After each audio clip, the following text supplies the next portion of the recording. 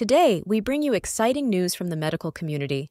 The FDA has recently approved a new drug, Vafseo, also known as Vadadustat, for the treatment of anemia.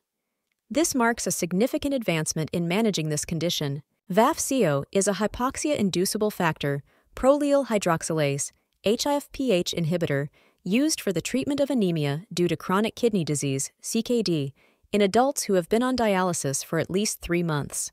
Vafseo works by mimicking the body's natural response to low oxygen levels.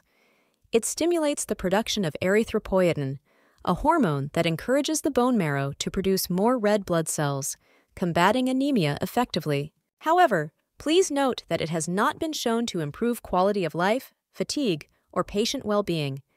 It is not indicated as a substitute for transfusions in patients requiring immediate correction of anemia, or for those with anemia due to CKD who are not on dialysis. Vafseo is available in tablet forms of 150 milligrams, 300 milligrams, and 450 milligrams. The recommended starting dose of Vafseo is 300 milligrams taken orally once daily, with or without food. Hemoglobin levels should be monitored when initiating or adjusting the dose, and then monthly. Dose increases should not occur more frequently than once every four weeks, although decreases can happen more frequently.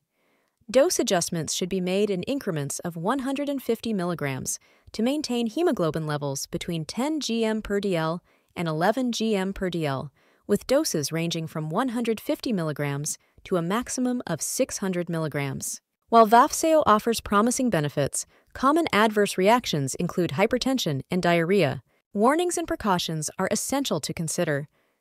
Vafseo may increase the risk of thromboembolic events, including strokes and heart attacks. Patients with a history of cardiovascular disease should be closely monitored during treatment. Further, it's important to monitor liver function, as Vafseo can cause elevated liver enzymes. Regular blood tests will help ensure that the liver remains healthy throughout the course of the treatment. Hypertension may worsen, including the possibility of hypertensive crisis, so blood pressure should be closely monitored and antihypertensive therapy adjusted as needed. Seizures have been reported in patients with CKD taking Vafseo.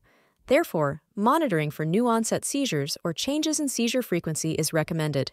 Additionally, gastrointestinal erosions and bleeding have been reported, and there may be unfavorable effects on cancer growth, making Vafseo not recommended for patients with active malignancy. Vafseo is contraindicated in patients with uncontrolled hypertension. High blood pressure must be managed before starting this medication to avoid serious complications. Always consult your doctor for a thorough assessment. Patients with a known hypersensitivity to vadadustat or any of its components should not use Vafseo, as severe allergic reactions could occur.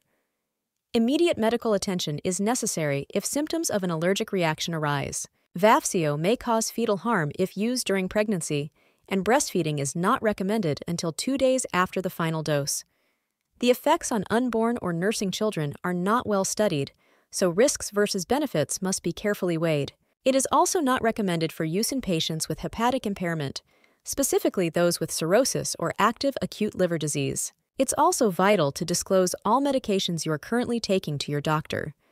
Vafseo can interact with other drugs, potentially altering their effectiveness or increasing the risk of side effects. Patient education is key.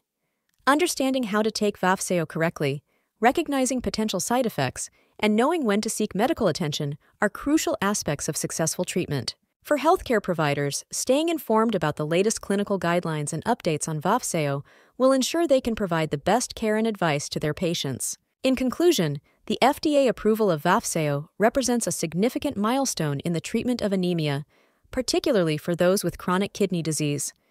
Always consult healthcare professionals for personalized medical advice. Please consult your healthcare provider to know if Vafseo is a suitable option for you or not.